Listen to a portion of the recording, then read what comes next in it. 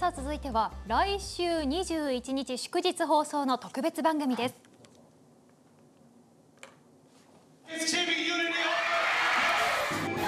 潟のチームが成し遂げた世界大会4連覇。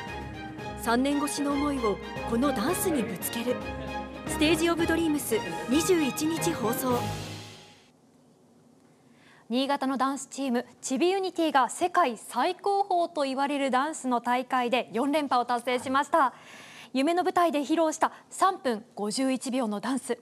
そこにかける思いに密着しました。来週21日火曜日祝日放送です。ぜひご覧ください。